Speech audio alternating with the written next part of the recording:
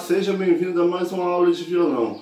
Hoje nós iremos trabalhar a escala de Lá sustenido maior, é, de acordo com a nossa escala cromática. Né? Então vamos lá.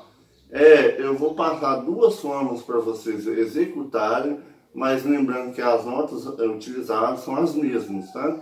É porque, como a gente está avançando bastante no violão aqui, eu vou voltar aqui e ensinar aqui no início do braço também. Vamos lá. Primeiro, nós vamos executar aqui da forma do desenho da, do, da, dos dedos que a gente já tá já vem estudando, de acordo com Lá maior, é, Sol sustenido maior. Então vamos lá. Que com o segundo dedo, nós iremos na sexta casa, sexta corda. Agora com o quarto dedo, na oitava casa, sexta corda. Depois com o primeiro dedo na quinta casa, quinta corda. Depois com o segundo dedo na sexta casa, quinta corda. Depois com o quarto dedo na oitava casa, quinta corda. Depois com o primeiro dedo na quinta casa, quarta corda. Depois com o terceiro dedo na sétima casa, quarta corda. E com o quarto dedo na oitava casa, quarta corda. Essa é a nossa primeira execução. Agora nós iremos analisar as notas que estão sendo tocadas. Né? Primeiro Lá sustenido, depois Dó, depois Ré, depois Ré sustenido, Fá, Sol, Lá e Lá sustenido. Essas são as notas utilizadas.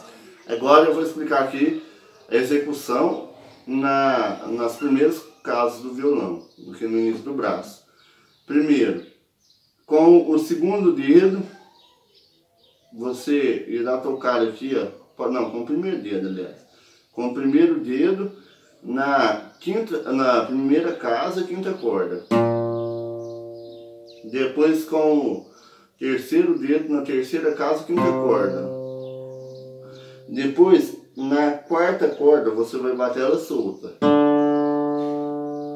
Depois com o primeiro dedo na primeira casa, quarta corda. Depois com o terceiro dedo na terceira casa, quarta corda.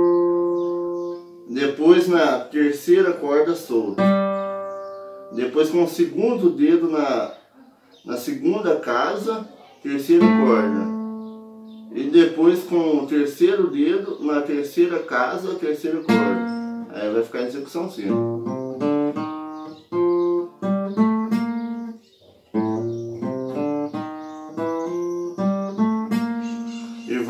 Executar também ao contrário, né? Pra gente ir treinando.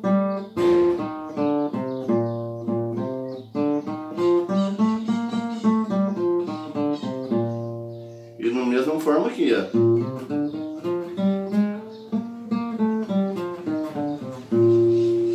Então é isso aí, espero que vocês tenham gostado. Até a próxima aula.